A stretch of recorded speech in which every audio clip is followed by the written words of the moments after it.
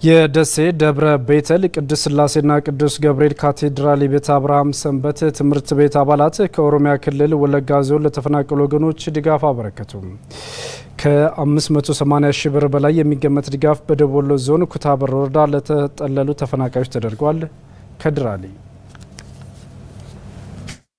በደሴ ከተማ ደብረ ቤቴል ቅድስት ሥላሴና ቅዱስ ገብርኤል ካቴድራል የቤተ አብርሃም ሰንበት ትምህርት ቤት ከኦሮሚያ ክልል ወለጋ ዞኖች ተፈናቅለው በደቡብ ወሎ ዞን ኩታበር ወረዳ ለተጠለሉ ወገኖች ከ580 ሺህ ብር በላይ የሚገመት ቁሳቁስ ድጋፍ አድርጓል። ድጋፉ ከደሴ ከተማ ሕዝበ ክርስቲያን የተሰባሰበ መሆኑን የገለጸው የቤተ አብርሃም ሰንበት ትምህርት ቤት ሰብሳቢ ዲያቆን ሮቤል አማረ ሕዝበ ክርስቲያኑ በድጋፉ ንቁ ተሳትፎ ማሳየቱን ተናግሯል።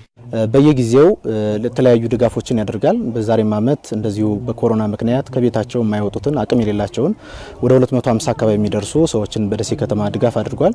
በዘንድሮ ዓመት ደግሞ ትንሳኤ በዓልን ስናከብር በዚህ በመጠለያ ጣቢያ ላይ የሚገኙ ወገኖቻችንን መተን ልንጎበኝ ይገባል በማለት የተለያዩ አልባሳትን ዋጋቸው ወደ 500 ሺህ አካባቢ ድረስ የሚገመቱ የህፃናት፣ የአዋቂዎች አጠቃላይ ለሁሉም የሚሆን አልባሳት በተጨማሪ ደግሞ ባጠናነው መሰረት አሁን ሁሉ እዚህ አካባቢ ያሉት ወደ 111 አባወራ አካባቢዎች አሉ። እነሱ አብስለው መብላት የጀመሩበት ጊዜ ስለሆነ ለነሱ የሚያገለግል መዘብዘፊያዎች፣ ባሌዎች፣ ቁሳቁሶችን ከዚያ ባሻገር ደግሞ ለምግብነት የሚውሉ ሽንኩርት፣ የምግብ እቃዎች እንዲሁም የተለያዩ እነ ሽሮን እነዚህን የመሳሰሉትን ማምጣት ችለናል። የደቡብ ወሎ ሀገረ ስብከት ገዳማትና ካህናት አገልግሎት ክፍል ኃላፊ መምህር አባ ገብረ ጻድቅ መኮንን በቀጣይ በሌሎች መጠለያዎች የሚገኙ ተፈናቃዮችን ያማከለ እገዛ ይደረጋል ብለዋል። የመጀመሪያውን ዙር ዛሬ በዚህ መንገድ የሰንበት ትምህርት ቤታችን ወጣቶች አዘጋጅተው ይህን ስጦታ ከሰጠን በሚቀጥለው ደግሞ ቤተ ክርስቲያኗም አጠቃላይ እዚህም ላሉት ሌላም ቦታ ላይ ላሉት እንደምትደግፍ ቃል የምንገባበትና ለሕዝባችንም መቀስቀሻና ጥሪ የምናደርግበት ሚዲያ ነው። ዛሬ ሁሉም ሰው እኒህ ነገሮቻችንን እንዲረዳ በእግዚአብሔር ስም አደራ ላለሁኝ። መንግስት ተፈናቃዮችን ከማገዝ ባለፈ ለመፈናቀላቸው ምክንያት የሆኑ አካላትን ህጋዊ ተጠያቂ ማድረግና እርምጃ መውሰድ እንዳለበትም